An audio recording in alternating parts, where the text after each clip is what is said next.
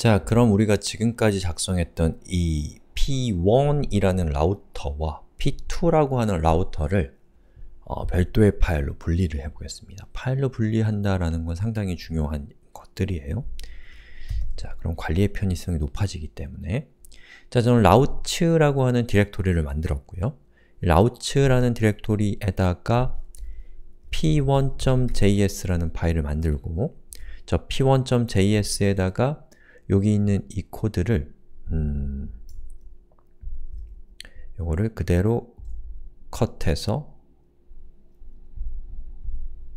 붙여넣기 하겠습니다. 자, 그런데 p1.js를 제가 모듈로 만들 건데 아, 그건 조금 이따 얘기하죠.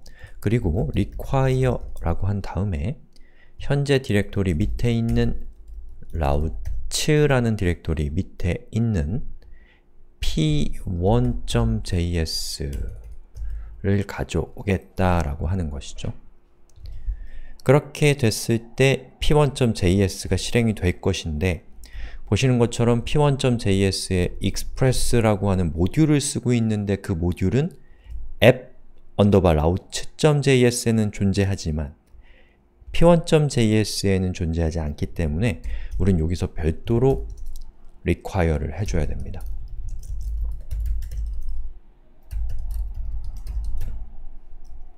그렇게 되면 p1.js도 express 모듈을 사용할 수 있게 되는 것이죠.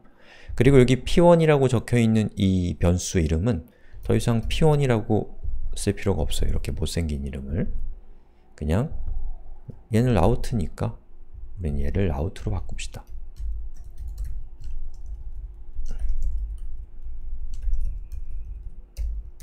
그리고 export 모듈 엑스포츠 하고서 라우트라고 해주면 여기 있는 이 p1은 보시는 것처럼 export route를 하고 있기 때문에 우리는 어, p1은 이렇게 해줄 수 있는 것이죠. 자, 복습 차원에서 다시 여기에 있는 이 코드를 제가 다시 컷해서. 이번에는 p2.js라는 파일에 붙여넣기 하고 그리고 require를 통해서 라우치의 p2라고 한 다음에 p2.js의 p2 부분을 우리는 라우트로 또 바꿀 수 있죠. 안 바꿔도 상관없습니다. 모듈 export라고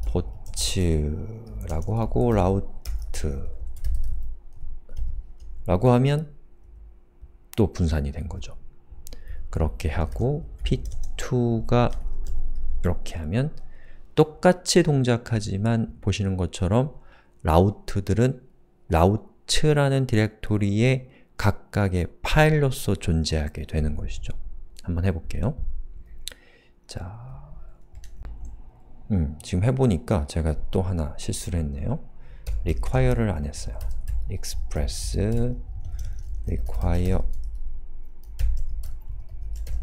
이렇게 그리고 리로드를 해보면 어떻게 되나요? 자, p2 열리고 p1 열리고 자, 보시는 것처럼 이렇게 분산이 된 것을 볼 수가 있죠. 그럼 물론 우리가 상당히 복잡한 개념들을 사용을 했지만 우리의 app underbar route.js라는 파일은 훨씬 더 단순해졌단 말이에요. 여기 있는 요 p2.js, p1.js가 각각 100개씩의 라우트를 가지고 있다 라고 한다면 여기 있는 이 코드는 200개의 라우트를 가지고 있었을 것인데 그 복잡도가 훨씬 더 줄어들었다는 겁니다.